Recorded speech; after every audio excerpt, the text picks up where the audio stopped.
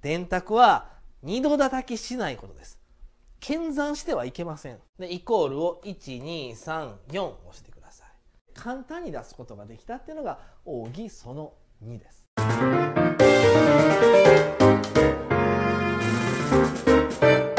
CPA カレッジ。皆さんこんにちは。CPA カレッジ学長の上田です資格学習スタートの春。ということで、えこの春から資格学習を始められた方多いと思うんですね。そこで特に会計試験、税理試験、簿記検定などなど電卓を使った資格学習を始められた方必見の動画を今日は撮ります。今日のテーマはズバリこちらです。電卓奥義直伝。そもそもね電卓は右手で叩いても左手で叩いてもどっちでもいいんです。ただ僕は受験時代は右手で叩いてたのでっていうのは簿記の連結会計とか資料がボーダーになるんでこうページをめくりながら電卓叩いていくことが多かったんですよ。だからめくりながらっちゅうと右手の方が僕は叩きやすかったので受験時代は右で叩いてたんです。ところが仕事しだしたら実務入ったら右手はパソコンのマウス持ってるんですよ。あるいはパソコンを叩いてることが多いんですよ右手で。そうすると右手使ってるんで左手で電卓を叩くことが仕事しだしてからは実務上は多くなるんです。なので僕は今や両方で叩けるんですけども皆さんはどっちでもいいです。叩きやすい方慣れた方で構わないですただ右手だろうが左手だろうが叩き方にコツがあるのでそれをまず紹介したいのね。でこれ、えー、今僕の手元を映してるんやけど僕の愛用のシャープ製の電卓です。あの名機です。これを超える名機はそうそうないなと僕は思ってるんやけどまず右手で電卓を打つ場合は人差し指と中指でペンを持ってますね。そうすると人差し指は使えないわけ。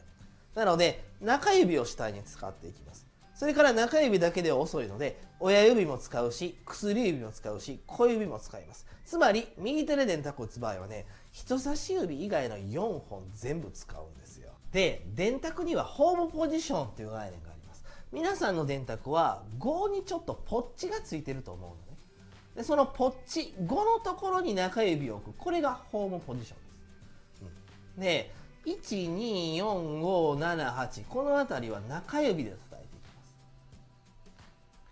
ます。で次薬指で369とかプラスとかかけるとかを叩いていくの。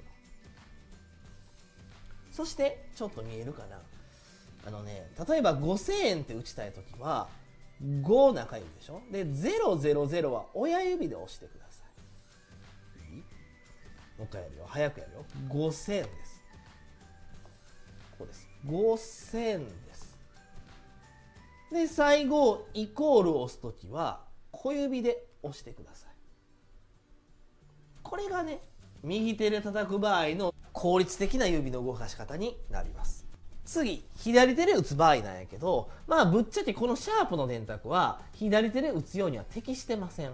なんでかっていうと000がこの位置にあるからこれがねシャープじゃなくってキャノンの電卓だったら000が1個左にずれてるんで左手で打ちやすいんですよ。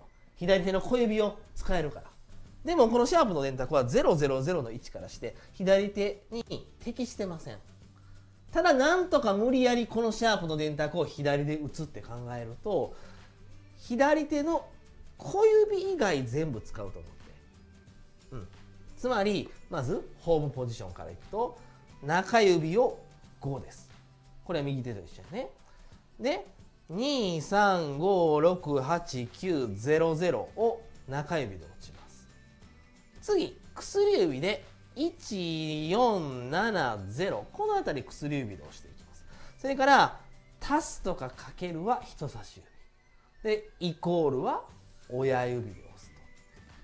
こんな形で運用するのが左手の効率的な電卓の叩き方。まあここまでは基本やね。分かった？右手だろうが左手だろうがどっちでもいいんやけどとにかくコツは同じキーは必ず同じ指で押す練習をすることです。練習してたら絶対にできますから。同じキーは同じ指で必ず押すように普段から何回も練習すること、これがまず基本なんです。じゃあ基本をみんなに叩き込んだから。じゃあ続きまして、えー、奥義早速いきたいと思います。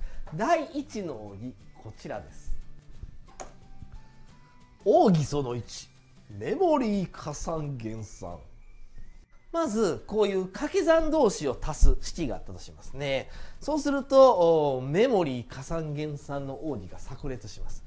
そもそもメモリーっていうのは M プラスとか M マイナスとかリコールメモリーとかクリアメモリーとかとにかく電卓に M っていうついてるキーがこれメモリーキーです。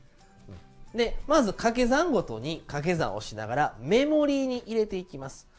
どういうことかっていうとまず 10×2 本来ならイコールを押すところでイコールの代わりに M プラスを押してください。これで20っていう数値がこの電卓にメモリー記憶されたの次。この状態のまま次の掛け算いこうか。13×10 でイコールを押すところ代わりに M プラスをしてください。そうすると130っていう数値もまたこの電卓上に記憶されました。今20っていう数値と130っていう数値の2つがこの電卓には記憶されていることになります。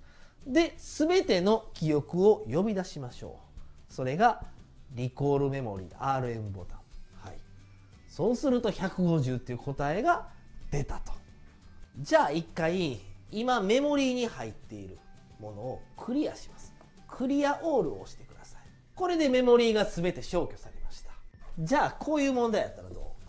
このメモリーはマイナスでも使えるからね。やっていこうか。まず 10×2 イコールの代わりに m プラス。これはさっきやったね。それから 13×10 イコールの代わりに m プラス。これもさっきやったね。ここからです。マイナス 4×5 これをどうやって電卓にメモリーさせていくかなんだけども 4×5 イコールの代わりに m マイナスをしてください。これでマイナス20がこの電卓に記憶メモリーされたってことそうするとこの電卓には今プラス20とプラス130とマイナス20が記憶されてるので全てのメモリを呼び起こす。つまり RM ボタンを押すと130っていう答えが出ました。じゃあ今伝授した奥義その1を使って早速敵を倒してみようか。というか実践編やってみようか。工業簿記とか原価計算やってる人はこういうボックスよく見ますよね。要は機種に100円のリンゴが20個ありました。陶器に130円のリンゴを100個仕入れました。この120個のリンゴの平均単価はいくらですか？平均法を使って出してください。こういう問題です。じゃあ平均単価の式としてはこうなるよね。じゃあ電卓で叩いてみるよ。100円 ×20 個。メモリープラス。それから130円 ×100 個メモリープラス。で呼び戻すリコールメモリー。1万5000円を120個で割ります。そうすると平均単価は125円っていうふうに出ました。つまり平均単価が電卓で1個あたり125円って出たわけ。でこの奥義その1は奥義その2へと派生するんです。奥義1は2へとつながっていくのでちょっとかっこいいでしょ。どういうことかっていうと例えば今125円1個あたりの原価のものを80個売りましたと逆に残り40個はまだ売れずに残ってますって言った時に80個分の原価はいくらですか？あるいは売れ残ってる分の原価はいくらですか？それぞれ求めなさい。って言われた時に当然皆さんは125に80をかける。あるいは125に40個をかけていくはずなんですね。ここで奥義その2炸裂するよ。奥義その2はこちらです。奥義その2掛け縛り。皆さんはこういう式の答えを出したいわけです。そうするとまずいくよ。1個あたり125円で80個売れたんだからイコール1万円の原価のものが売れたよねと。ここまでは簡単やね。こっからです掛け縛りは。皆さんは次 125×40 をしたい。その時に125ってもう一回入力する必要はありません。電卓にもう一回125って入れなくていいよ。次ねこの状態のまま40イコールとして5000が出ました。分かった？掛け縛り何やってるか。要は掛け算の前の1個あたり125っていうのを縛ってくれるんです。つまり125をもう一回入力することなく1万円の原価のものが売れた。あるいは5000円の原価のものがまだ売れ残ってるってことが掛け縛りによって簡単に出すことができたっていうのが奥義その2です。続いての奥義こちらです。奥義その3分母呼び出し。例えばこういう数値例があったでしょうか。機種に261個のリンゴを持ってたと。その原価は22万7000でした。当期に新たに874個のリンゴを仕入れてその原価は90万トンで8000でした。これらの平均単価を求めなさい。こういう問題ね、うん、普通みんなはまずこれとこれを電卓で足して1135000円こことここを電卓で足して1135個でわざわざ一個一個電卓で出してからここの割り算で平均単価は1個あたり1000円っていうのを出しますよね。これ奥義その3分母呼び出して一発で出してみようか。この1000円を。まずコツはね分母から出すっていうこと。いくよ。261個足す874個。これで M プラスでメモリーに1135個を入れといてください。分母の1135個を先に計算して先にメモリーに入れとくの。その後分子いくで。分子は22700足す90800割るここでさっきの1135個を呼び出したいので RM で1135個を呼び出します。で最後にイコールボタン。これで1000円1個あたりっていうのが出ました。これが奥義その3分母呼び出しです。分母をリコールメモリーで呼び出したんです。おっしゃじゃあどんどん奥義伝授していくで。続きましてはこちらです。奥義その4マイナスイコール。じゃあ例えばこういう BS があるとしようか。売掛金が今1万5000円ですと。で売掛金に対して5%の貸倒れ引当金を設定するのでそうすると貸倒れ引当金がマイナス750で貸倒れ引当金を引いた後の実質的な売掛金は1万5000から750を引いて1万4250円ですよとここの計算で奥義その4マイナスイコールが実は炸裂するんですねマイナスイコールやってみるで。1万5000かける0.05イコール。これで750っていう貸し倒れ引き当て金の金額が出ました。で皆さんは1万5000円からこの750円を引く。そんな計算はしなくていいです。ここからいくよ。マイナスイコールとするんです。14250っていう貸し倒れ引き当て金を引いた後の実質的な売掛金がもう出ました。明らかに1万5000から750引くよりも早いでしょでは続いての王に行きますこちらです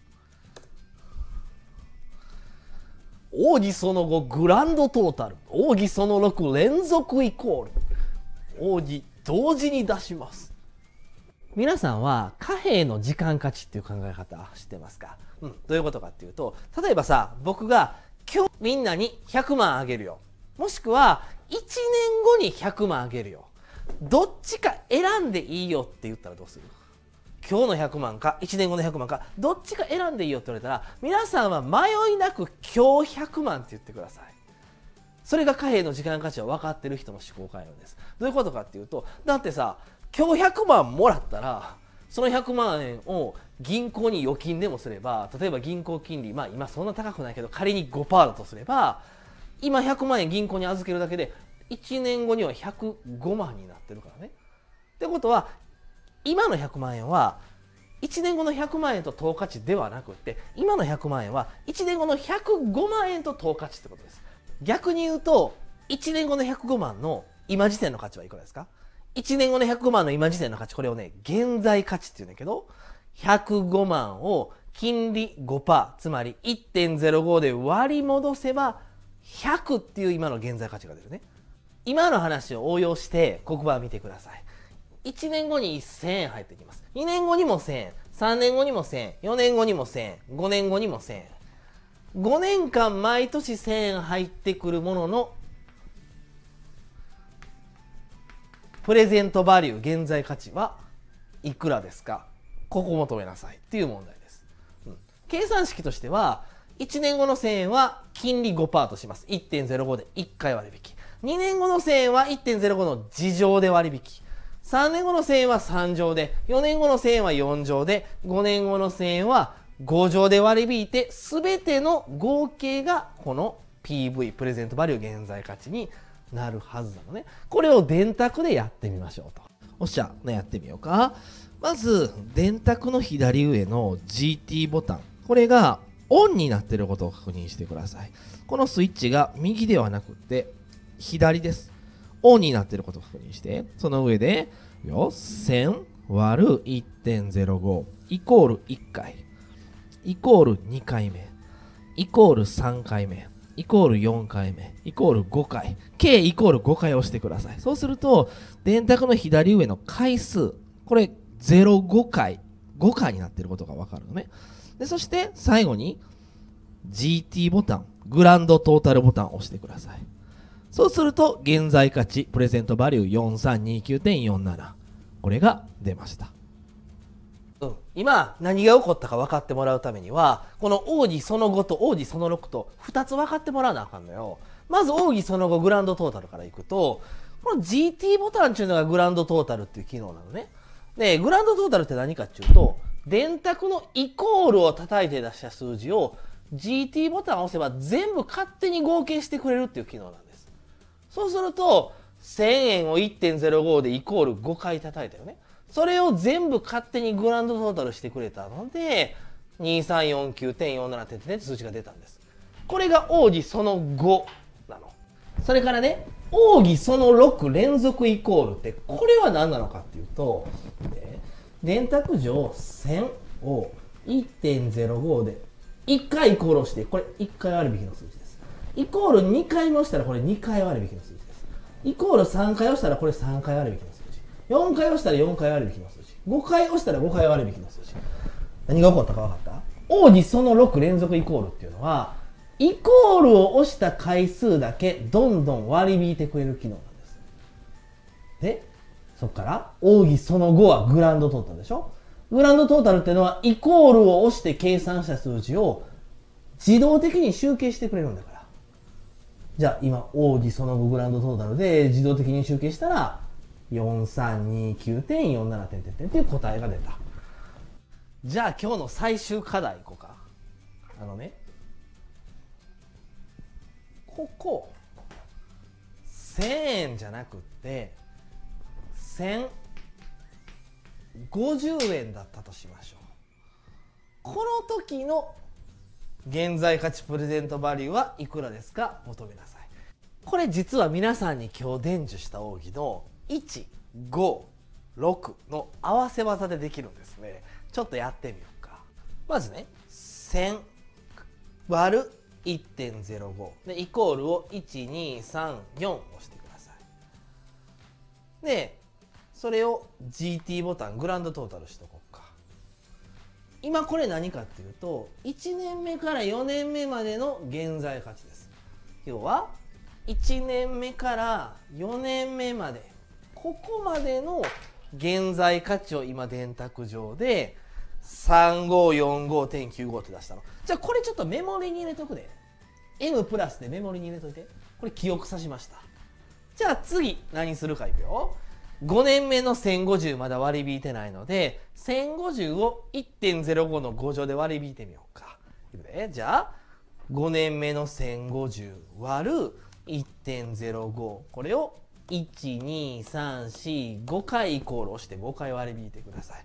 じゃあ電卓上822.70これもメモリープラスでメモリーに入れます。今何が起こってるかっていうと1年目から4年目までの現在価値がメモリーに入ってる。それから5年目の現在価値も今メモリーに入った。じゃあ全ての合計つまりリコールメモリーボタンを押します。じゃあ全ての合計は4368.65になるよってことですね。